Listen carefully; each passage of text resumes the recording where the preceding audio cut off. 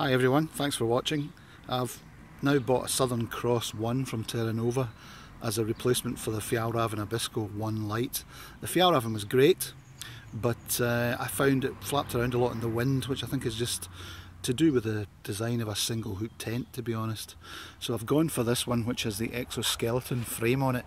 It was always on my shortlist and I wasn't too sure though whether whether to go for this first or whether to opt for the Fjallraven but I had a pre-order in on the Fjallraven so I thought I'd give it a try. Fjallraven's a great tent, but being a single hoop with end poles, you've got that whole, what I would call an issue or a problem. Um, a lot of people wouldn't agree with me in terms of those type of tents. They tend to be a bit flappy in high winds, which for me is not such a good sleep.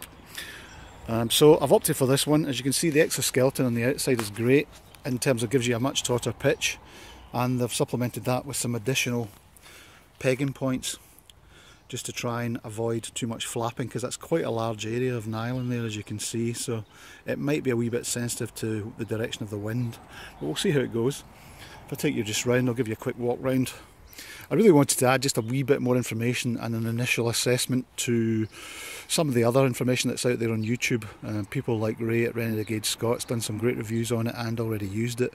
I've yet to use this one but I just thought I'd give some initial observations. I really like the quick clip system which is a wee bit like some of the Hilleberg type clips where it just clips on externally. Really like that.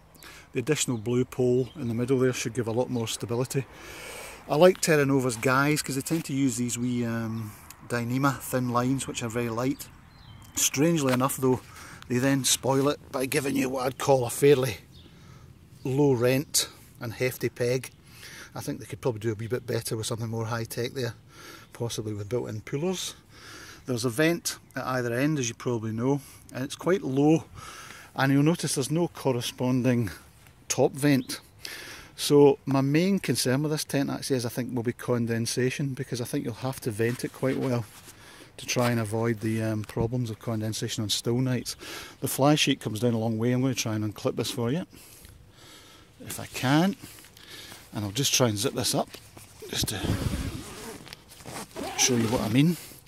What I've done is, this is quite a smart idea, they've got a little buckle that allows you to peg back the um, fly sheet at the base here so you can increase the amount of airflow or possibly do that when it's cooking and there's also to be fair a two-way zip at the top here so you can open and vent to some extent but this rain cover is so tight that the amount of air you'll get through here will be limited compared to say the Akto which has got a far better venting system as does the Fjallraven Abisko um, I'll just pop this out the way.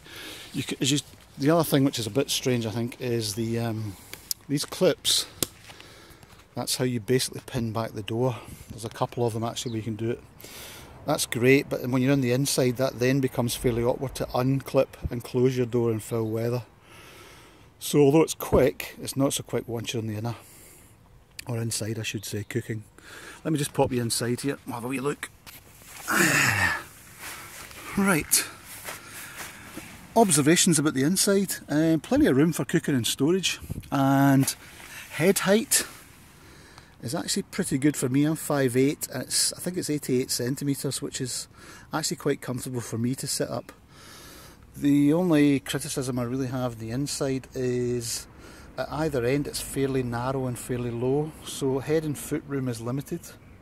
On the Abisko it's a lot better um, the depth of the actual inner tent at the centre point where you've got a couple of storage pockets. That's pretty good, so that's alright.